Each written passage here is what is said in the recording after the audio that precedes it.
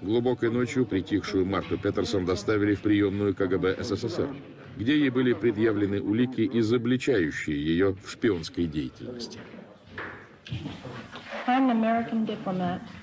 У вас You есть... must call the embassy. У вас есть My name is? Martha Peterson. Так? And, yes, I have. Так. The number there is 252. Американский дипломат. That's right. Что вы делали на мосту? Me. Я попрошу поставить в известность Министерство иностранных дел, известить американское посольство. Сегодня интерес к этим событиям не утих, в том числе и за рубежом. Ныне в своих интервью Марта Петерсон представляет огородника суперагентом, а о своем задержании рассказывает как о смертельной схватке с безжалостным КГБ. Но в истории шпионской